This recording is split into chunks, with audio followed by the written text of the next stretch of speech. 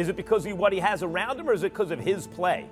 I have to say, Josh Allen entered the league as a 22 year old quarterback. I thought he was drafted too high. I could see he had, he had a big arm, but I was suspicious of his ability to play the position. He's good.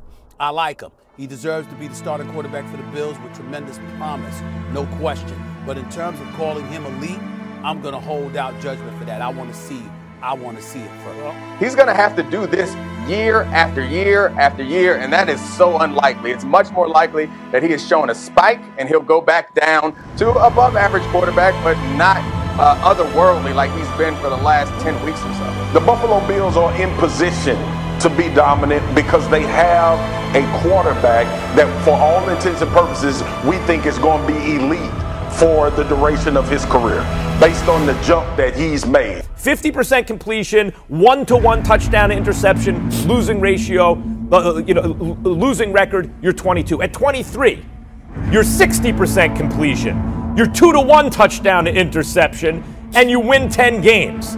Year three, you're now 24. You're three to one touchdown to interception.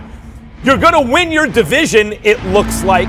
You're coming off your career best performance. You have a top five QBR and you're completing 70% of your passes.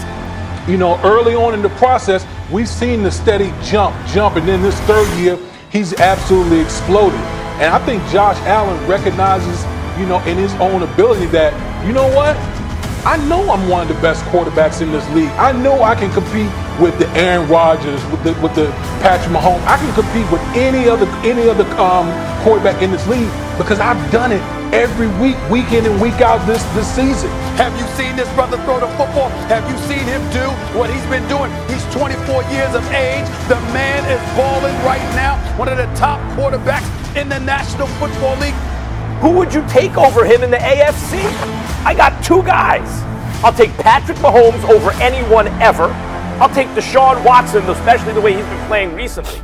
If you're the third best quarterback in your conference and you're ascending and continually getting better, 24 years old, coming off your best career performance, I have to say you're elite. Josh Allen's an elite quarterback. For the last month, or really since this guy's looked healthy, when I watch Josh Allen play, he looks every bit as good as Patrick Mahomes. If you're starting from scratch right now and you can draft any quarterback you want to lead your franchise, you probably take Pat Mahomes first and you probably take Josh Allen second.